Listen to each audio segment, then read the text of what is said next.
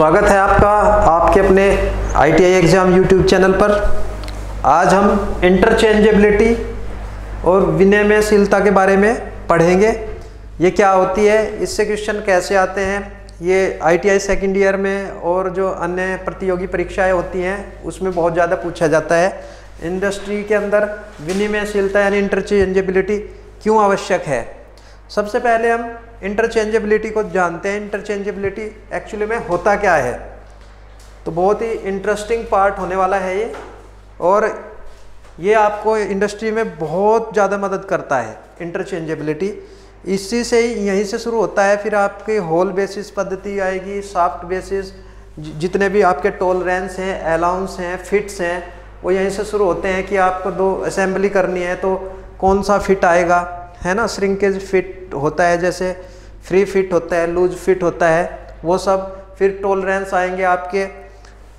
Unilateral tolerance bilateral tolerance वो सब आएँगे तो ये आपको ध्यान से देखना है। यहाँ से शुरुआत होती है इंटरचेंजेबिलिटी से इस चैप्टर की, और धीरे धीरे हम टॉपिक वाइज क्वेश्चन देखते जाएँगे, और उसके क्वेश्चनों को हल करते जाएँगे, और धीरे धीरे सीखते जाएँगे।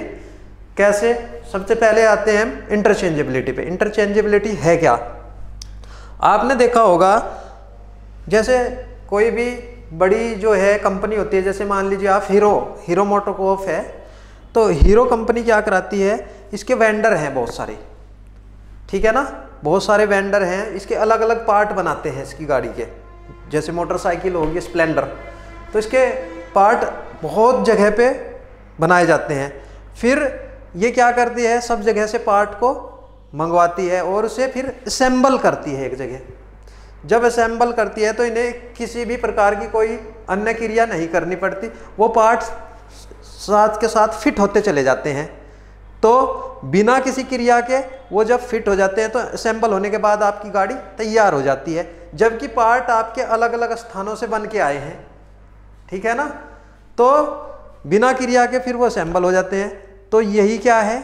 इसे ही बोलते हैं इंटरचेंजेबिलिटी यानी आप जो है, मान लीजिए आपकी बाइक का कोई पार्ट खराब हो जाता है तो आप कहीं भी हो तो मार्केट से उसे दोबारा परचेज कर सकते हैं आप, और वो बिना कुछ आपकी गाड़ी में किए केवल वही पार्ट निकाल, जो ख़राब हो गया है, उसे निकालेंगे, उसकी जगह दूसरा लगा देंगे।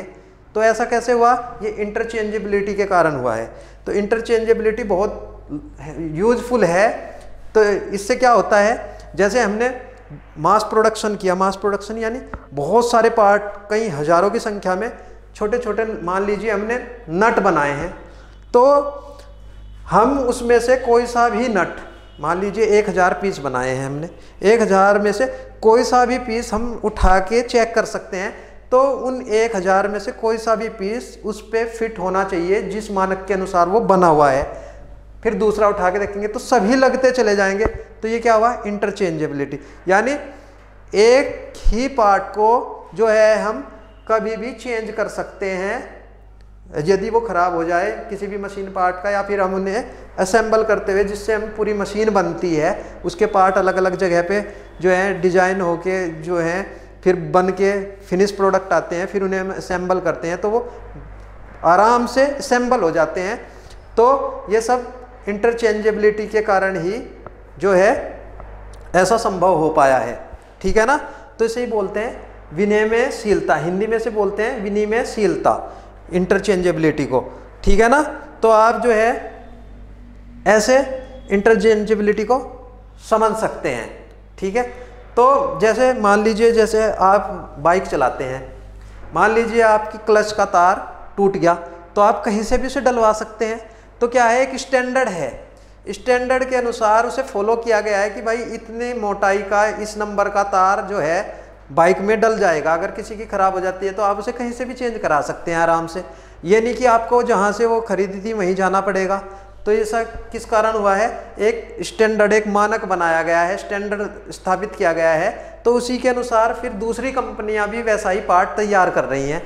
तो ख़राब हो गया तो आप आराम से कहीं भी उसे चेंज करा सकते हैं। तो यही क्या कहलाती है? इंटरचेंजेबिलिटी। ठीक है ना? उसके बाद फिर हमारे आते हैं, कुछ साइज़ होते हैं। साइज़ जैसे वास्तविक साइज़ जिसे एक्चुअल साइज़ बोलते हैं। अगर आप किसी ऑब्जेक्ट की विमाओं का अध्ययन करते हैं, उन्हें नापते हैं तो वो क्या हो गए एक्चुअल साइज़ मान लीजिए आपके सामने कोई चीज़ रखी है तो हमने कहा कि आप इसे नाप के बताइए इसकी बीमाएँ कितनी है? लंबाई, ऊंचाई, चौड़ाई, इसका अध्ययन किया आपने बताया। तो ये क्या हुआ उसका? एक्चुअल साइज़ यानी एक्चुअल में वो इतना है। ठीक है ना? फिर होता है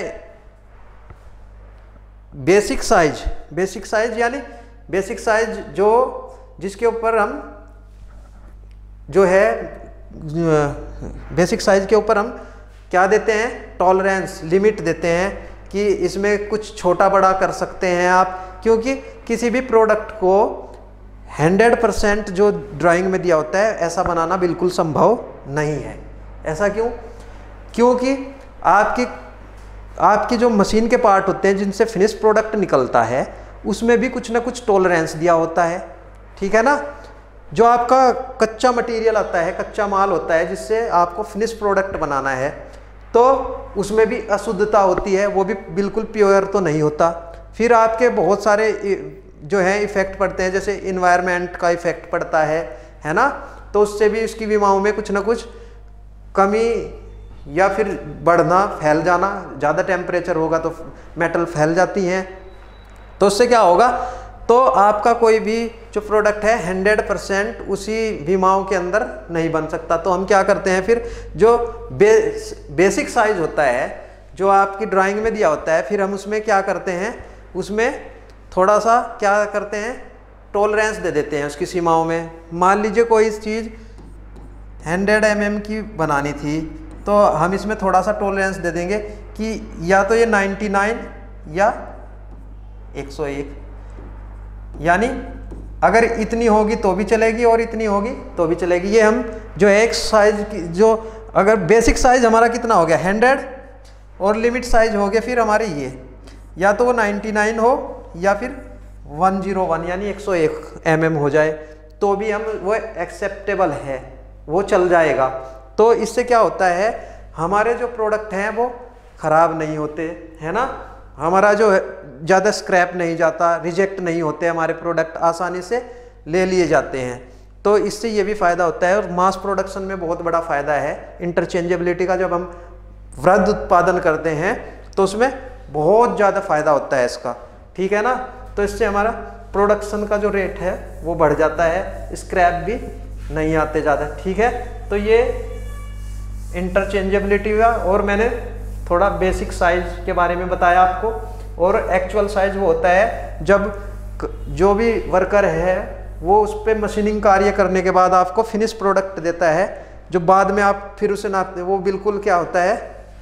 वास्तविक साइज़ आपको दिखाई देता है एक्चुअल साइज़ बेसिक साइज़ आपका ड्राइंग में रहता है। ठीक है ना? नॉमिनल साइज़ भी होता है। एक नॉमिनल क्या होता है? जब आप ड्राइंग में दिए साइज़ पर जो है, आप उस पर क्या करते हैं? लिमिट लगा देते हैं, यानी उसकी डायमेंशन पे अपनी तरफ़ से फिर टॉलरेंस दे देते हैं। तो टॉलरेंस देने के बाद क्या हो जाता है? वो नॉमिनल साइज़ हो जाता है।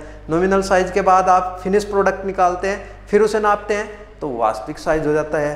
तो इस तरह ही इस पर क्वेश्चन बनते हैं। तो आइए अब देखते हैं क्वेश्चन क्या क्या हो सकते हैं इस पर तो ये देखिए, पहला क्वेश्चन दिया हुआ है। इसमें दिया गया है कि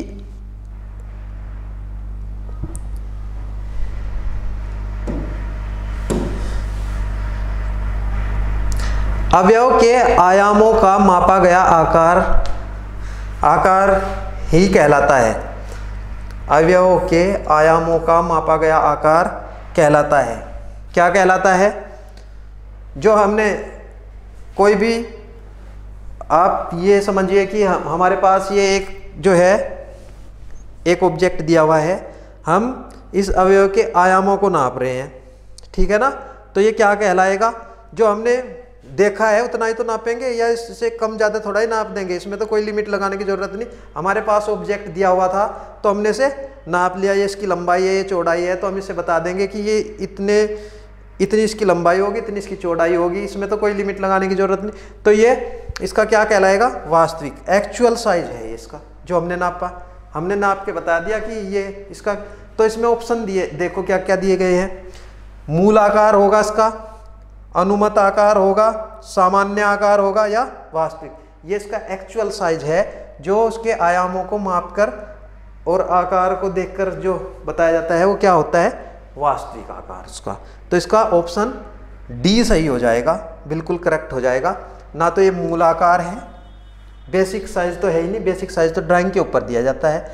अनुमत यानी लिमिट लगाकर लिमिट लगाकर तब दिया जाता है, जब हमें फिनिश प्रोडक्ट प्राप्त करना हो तो बेसिक साइज़ के ऊपर हम लिमिट लगाते हैं तो तब अनुमत आकार प्राप्त होता है। सामान्य आकार जो, सामान्य आकार ये हो नहीं सकता।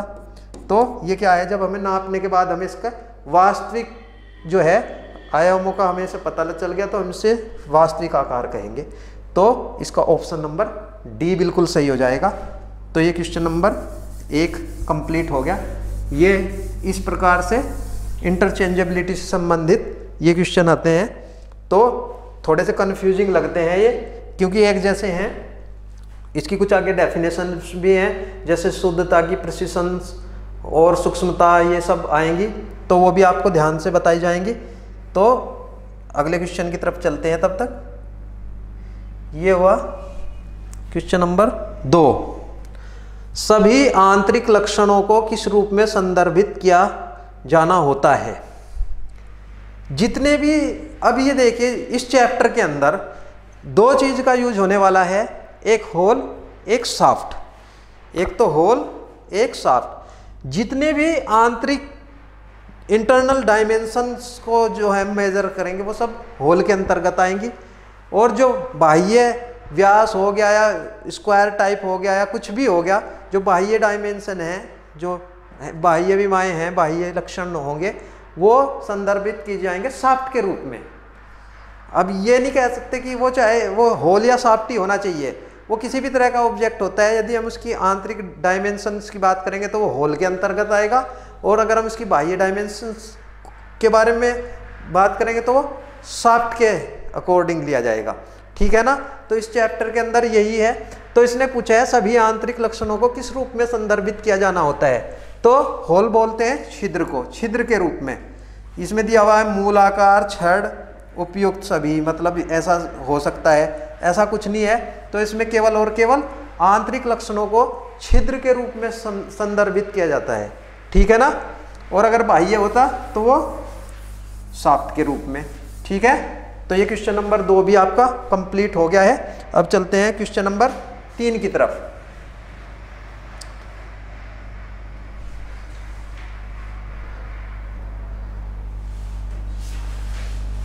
क्वेश्चन नंबर तीन देखिए। किसी पार्ट को बनाने के लिए ड्राइंग में जो साइज़ दिया होता है और जिस पर छूट दी जाती है, उसे कहते हैं बेसिक साइज़ सीधी सी बात है, अभी बताया था मैंने। जिस पार्ट को बनाने के लिए ड्राइंग में जो साइज़ दिया है और जिस पर छूट दी जाती है, उसे बेसिक साइज़ बोलते हैं। जब छूट देने के बाद हम उसे मशीन के लिए ले जाते हैं, छूट दे दी, फिर नॉमिनल साइज़ हो जाता है। और मशीन से फिनिश प्रोडक्ट निकलने के बाद फिर क्या हो जाता है? एक्चुअल साइज़ यानी वास्तविक साइज़ ठीक है ना? तो अब ये क्या कहलाएगा? किसी पार्ट को बनाने के लिए ड्राइंग में जो साइज़ दिया होता है, जिस पर छूट दी जाती है, उसे बेसिक साइज़ कहते हैं। बेसिक साइज़ पर ही छूट दी जाती है। तो इसका ऑप्शन नंबर बी बिल्कुल सही है। ठीक है ना? तो ये आपका बी हो गया। सही, बिल्कुल। तो अब चलते हैं हम अगले क्वेश्चन की तरफ़। क्वेश्चन नंबर चार। ये आपको थोड़े ध्यान रखने हैं। कुछ डेफिनेशंस आएँगी, इनका मतलब आपको कुछ इस तरह के सिंबल्स आएँगे, वो आपको याद रखने हैं। तो जैसे ये क्वेश्चन आया है, अब इसे, इसमें दिखा गया है बी आई एस के अनुसार ब्यूरो ऑफ़ इंडियन स्टैंडर्ड एक बी एस आई होता है ब्रिटिश स्टैंडर्ड इंस्टीट्यूशन करके रहता है, ये बी आई एस है ब्यूरो ऑफ़ इंडियन स्टैंडर्ड के अनुसार। होल को व्यक्त किया जाता है। तो होल को बताना है, ये I T one I T zero I T फिर एक सीरीज़ है आई टी सिक्सटीन तक। या प्लस या माइनस के द्वारा सी ऑप्शन दिया है ए बी सी और जेड के साथ छोटा सा सी लगा हुआ है, ठीक है ना? या फिर small A B C Z C ठीक है ना? तो इसका जो सही ऑप्शन है वो सी है। ए बी सी होल को ऐसे ए बी सी और जेड सी तक सीरीज़ बनाई गई है तो ये आपको याद रखना है। ये होता है बी आई एस के अनुसार होल व्यक्त किया जाता है। Capital A capital B capital C comma करके, और कहाँ तक? जेड सी तक। ठीक है ना? तो इसका ऑप्शन नंबर सी सही हो जाएगा।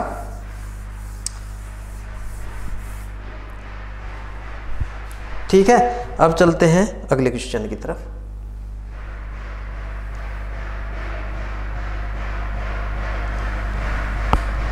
अब ये देखिए क्वेश्चन नंबर पाँच। ये अभी जो मैं विनिमयशीलता बता रहा था, उसी से आया है। निम्न में से कौन सा विनिमयशीलता का लाभ नहीं है? लाभ नहीं है। इसके लाभ तो बहुत सारे हैं। इसके लाभ बता दूँ मैं एक बार। इससे क्या है?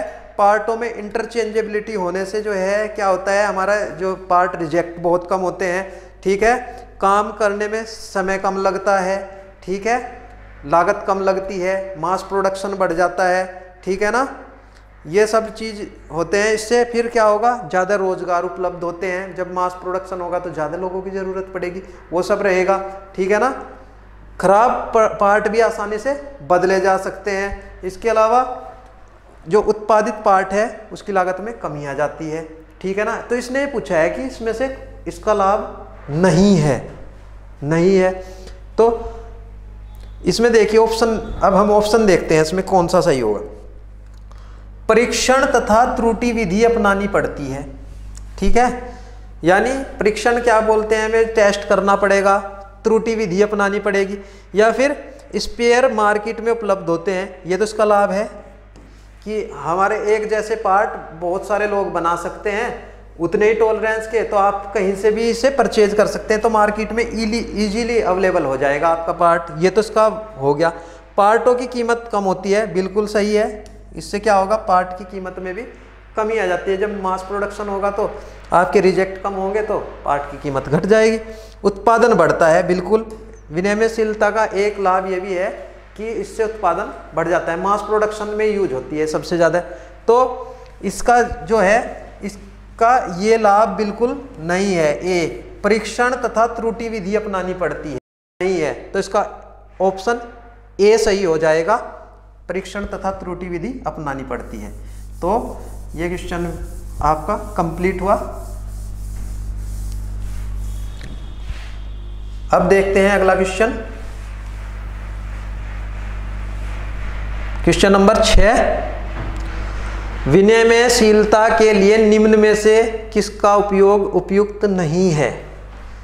किसका उपयोग उपयुक्त नहीं है? यह बताना है। ठीक है? हम विनिमयशीलता यानी इंटरचेंजेबिलिटी में किस किस को रखते हैं? पहले देखते हैं किस किस को रखते हैं, जिससे हमारा पार्ट बन सके। कब बनेगा? जब हम लिमिट फिट एवं टॉलरेंस का उपयोग करेंगे।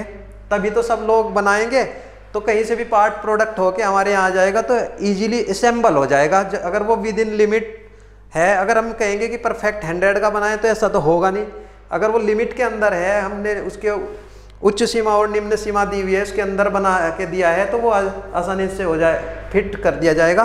तो ये तो होगा, बिल्कुल लिमिट फिट वे टोलेंस जिग एवं फिक्सचर के साथ भी होगा। पार्टों को बिना टोलेंस के तैयार करना लिमिट गेजों का उपयोग करना। लिमिट गेजों का तो उपयोग होता ही है। इसमें जो भी आपका पार्ट बनाना होता है तो उसके लिए हम एक गेज तैयार कर लेते हैं। उस लिमिट का तो उसे बार बार लगा के चेक करते रहते हैं कि हमारा प्रोडक्ट उस लिमिट के अंदर बन रहा है या नहीं बन रहा है। तो लिमिट गेजों का उपयोग भी होता है। पार्टों को बिना टोल रेंज के तैयार, अगर हम पार्टों को बिना टोल रेंज के तैयार करेंगे तो वो फिट ही नहीं होंगे। तो ऐसे पार्ट का कोई औचित्य नहीं होगा तो वो खराब हो जाएगा, रिजेक्ट हो जाएगा। तो अगर हम बिना पार्ट के टोल रेंज तैयार नहीं हो सकता तो विनिमयशीलता के लिए उपयोग उपयुक्त नहीं है, ये नहीं है। तो पार्टों को बिना टोलरेंस के तैयार करना। तो बाकी आपका ए बी सी तो सही है। यानी इन्हें तो हम यूज़ कर सकते हैं। तो इस प्रश्न के हिसाब से आपका क्वेश्चन नंबर जो छः है, इसका आंसर सी हो जाएगा। पार्टों को बिना टोलरेंस से तैयार करना। विनिमयशीलता के लिए निम्न में से किसका उपयोग उपयुक्त नहीं है? पार्टों को बिना टोलरेंस से तैयार करना तो फिर विनिमयशीलता नहीं रहेगी इंटरचेंजेबिलिटी नहीं रहेगी अगर हम पार्टों को बिना टोलरेंस के तैयार कर रहे हैं। फिर वो कहीं फिट होंगे, नहीं होंगे, इसका कोई भरोसा नहीं है। तो इस हिसाब से इसका आंसर नंबर जो ऑप्शन नंबर है, वो तीसरे वाला सी बिल्कुल करेक्ट हो जाएगा। तो ये आगे चलते हैं। ये क्वेश्चन नंबर सात क्वेश्चन नंबर सात में दिया हुआ है सॉफ्ट बेसिस पद्धति में। सॉफ्ट बेसिस पद्धति क्या होती है? सॉफ्ट बेसिस पद्धति में सॉफ्ट के साइज़ को स्थिर रखा जाता है। जिस भी बेसिस की पद्धति होगी, उसे स्थिर कर दो। ठीक है? सॉफ्ट बेसिस पद्धति में सॉफ्ट स्थिर रखी जाती है और फिटिंग के अनुरूप होल के साइज़ को बड़ा छोटा किया जाता है। भाई जैसी हमें फिटिंग चाहिए है, वैसे होल को जो है छोटा या बड़ा करते हैं सॉफ्ट बेसिस पद्धति में सॉफ्ट फिक्स रहेगी। उसके साइज़ को बिल्कुल स्थिर रखा जाएगा, उसमें कोई चेंज नहीं होगा। और चेंज किसमें होगा? होल में चेंज होगा। तो होल को सॉफ्ट के या फिटिंग के अनुसार फिर बड़ा छोटा कर सकते हैं। तो ये होती है सॉफ्ट बेसिस पद्धति। तो इसका ऑप्शन नंबर बी बिल्कुल करेक्ट है। सॉफ्ट का साइज़ स्थिर रखा जाता है। और फिटिंग के अनुरूप होल के साइज़ को कम या ज़्यादा करते हैं। ये ध्यान रखना है सॉफ्ट बेसिस पद्धति में सॉफ्ट का जो साइज़ है वो स्थिर रखा जाता है और फिटिंग के अनुरूप होल के साइज़ को कम या ज़्यादा करते हैं। बाकी सॉफ्ट होल से बड़ी होती है, ये भी इसका मतलब नहीं है। होल का साइज़ बड़ा रखा जाता है, ये भी नहीं है। और नीचे एक नीचे जो है ये दिया होल का साइज़ स्थिर रखा जाता है और फिटिंग के अनुरूप सॉफ्ट का साइज़ ज़्यादा या कम किया जाता है। ये होल, जब होल स्थिर रहेगा तो होल बेसिस पद्धति हो जाएगी, फिर सॉफ्ट को कम ज़्यादा करेंगे तो दो पद्धतियाँ हैं, एक होल बेसिस एक सॉफ्ट बेसिस तो ये सॉफ्ट बेसिस पूछी है, जब होल बेसिस आएगी तो होल के साइज़ को स्थिर रखेंगे, उसके अनुरूप फिटिंग के अनुसार हम सॉफ्ट के साइज़ को घटा बढ़ा सकते हैं। तो इस हिसाब से आपका ऑप्शन नंबर बी बिल्कुल सही है, जो डी वाला ऑप्शन है, वो होल के लिए है। तो इस तो आप जो है इसका बिल्कुल कंफ्यूज होने की ज़रूरत नहीं है। जो भी बेसिस पद्धति है, उसे स्थिर रखना है। बस सॉफ्ट बेसिस में सॉफ्ट स्थिर रहेगी होल बेसिस में होल स्थिर रहेगी। तो ये जो चौथा ऑप्शन है, ये होल बेसिस का है। ठीक है? तो इसका बी ऑप्शन बिल्कुल करेक्ट हो जाएगा। अब चलते हैं अगले सवाल की तरफ़।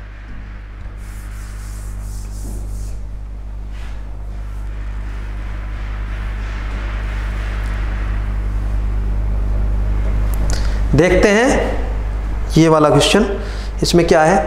ये देखो होल बेसिस पद्धति आ गई, पहले सॉफ्ट बेसिस पद्धति थी, अब होल बेसिस पद्धति है तो इजी हो गया।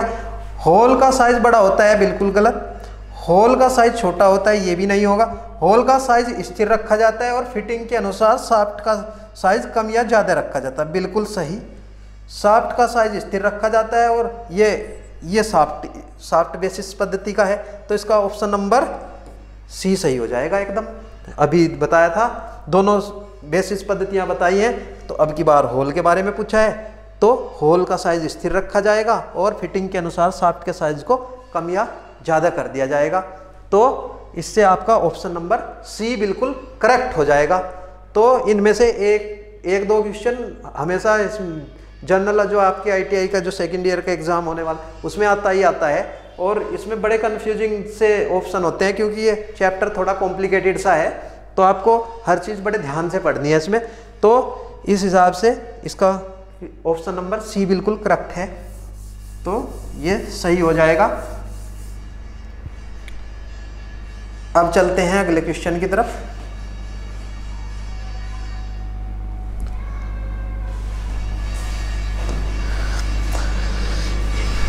Question number nine. एक ही आकार, प्रकार एवं परिशुद्धता वाले तथा एक ही प्रकार की मशीन में फिट योग्य पार्ट को क्या कहते हैं? ठीक है ना? ये क्वेश्चन आया है, एक ही आकार, यानी सबका जो है आकार एक ही है। एक ही आकार, प्रकार एवं परिशुद्धता वाले तथा एक ही प्रकार की मशीन में फिट होने योग्य पार्ट को कहते हैं।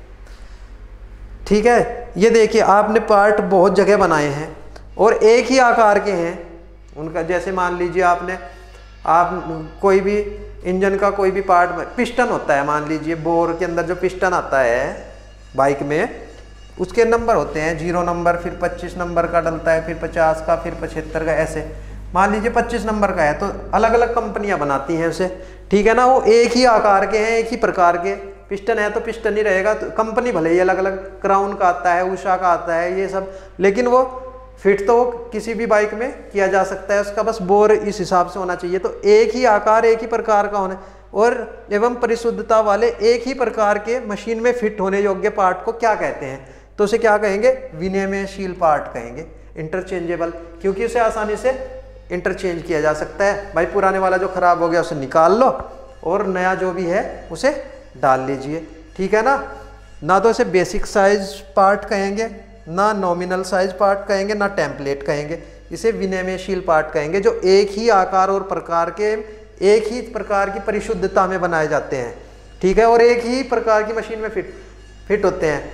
मान लीजिए, अब स्प्लेंडर है। स्प्लेंडर की बाइक का जो सिलेंडर है, उसमें एक स्पेसिफिक टाइप का पिस्टन आता है, क्योंकि आपने और बाइक भी देखी होंगी। तो उसमें क्या है? उसमें अलग तरह का पिस्टन होता है मतलब उसकी जो है चौड़ाई, उसका डायमीटर ज़्यादा हो सकता है, होता भी है। तो वो पूछता है कि किस गाड़ी में डालना है तो उसी टाइप के वो जो है आपको पिस्टन देगा कि आपको किस कंपनी का चाहिए। तो हीरो का अपना भी आता है, और जो वेंडर कंपनियाँ हैं, वो भी बना रही हैं, जो मार्केट में अवेलेबल हैं।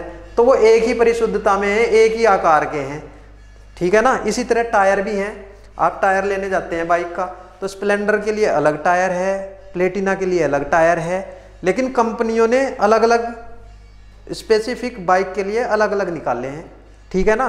तो तो इस हिसाब से वो क्या है? विनिमयशील पार्ट होते हैं, जो आराम से इंटरचेंज हो जाते हैं। तो इस तरह इसका ऑप्शन नंबर ए बिल्कुल करेक्ट हो जाएगा।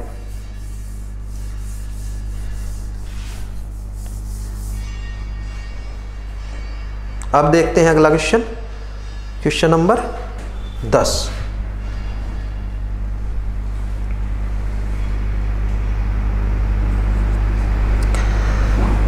ये अच्छा क्वेश्चन आया है। आई एस ओ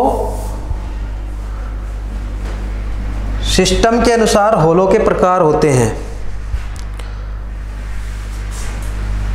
ये आई एस ओ के अनुसार पूछा है। अच्छा ये तीन सिस्टम हो गया। एक तो बी आई एस हो गया। ठीक है ना? ठीक, और एक हो गया बी एस आई एक I S O bureau of Indian standard British standard institution और ये हो गया इंटरनेशनल स्टैंडर्ड ऑर्गेनाइजेशन तीन हो गए, ठीक है ना? तो तीनों के अनुसार अलग अलग हैं। तो इसमें देखते हैं, पूछा क्या है? इंटरनेशनल स्टैंडर्डाइज ऑर्गेनाइजेशन सिस्टम के अनुसार होलों के प्रकार होते हैं। कितने प्रकार के होल बताए हैं? ठीक है ना? तो इस जो इंटरनेशनल पद्धति है, उसके अनुसार 28 प्रकार के होल होते हैं। ठीक है ना? कितने प्रकार के? 28 प्रकार के होल होते हैं। ठीक है? और 28 प्रकार की ही साफ्ट होंगी। जब 28 प्रकार के होल हैं तो 28 प्रकार की ही साफ्ट होंगी आईएसओ के अकॉर्डिंग ठीक है? जबकि ब्यूरो ऑफ़ इंडियन स्टैंडर्ड के अनुसार साढ़े चार सौ प्रकार के होल हैं और साढ़े चार सौ प्रकार की साफ्ट हैं। चार सौ पचास। ठीक है ना? तो ये रहता है। तो यहाँ तक आपके समझ में आ गया होगा। ठीक है? तो इसी प्रकार जो है आप साढ़े चार सौ प्रकार, जो 450 टाइप के होल और 450 टाइप की सॉफ्ट होती हैं, ठीक है? और ये इसमें पूछा गया था, इन इंटरनेशनल स्टैंडर्ड ऑर्गेनाइजेशन सिस्टम के अनुसार होलों के प्रकार होते हैं अट्ठाईस अट्ठाईस ही प्रकार की साफ्टें हैं। इससे छः क्वेश्चन बन जाते हैं आपके। दो तो इसके हो गए, दो इसके हो गए और दो ही आई एस हो गए हो गए ठीक है ना? तो ये आपको ध्यान रखना है। ठीक है? तो इस प्रकार से आपके ये दसवा क्वेश्चन भी कंप्लीट हो गया है। तो आपको याद रखना है आईएसओ सिस्टम के अनुसार होलो के प्रकार जो है वो अट्ठाईस हैं ट्वेंटी एट ठीक है? तो आज का